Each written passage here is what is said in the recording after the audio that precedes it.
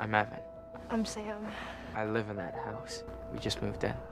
I've been in that house. It's cursed. Everyone, this is Sam. Nice to meet you, everyone. So who is she? I don't really know. Just be careful. Do you want to try something with me? You know what this is? No. Talks to the dead. You curious?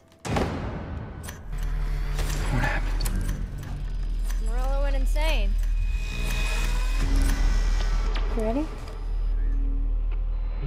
Is anyone in here? What happened in this house? Well, I guess it's just not meant to be. My room.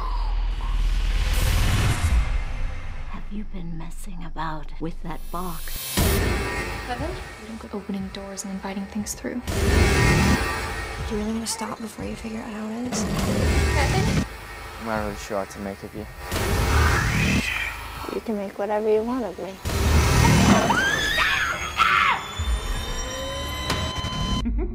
She's coming close.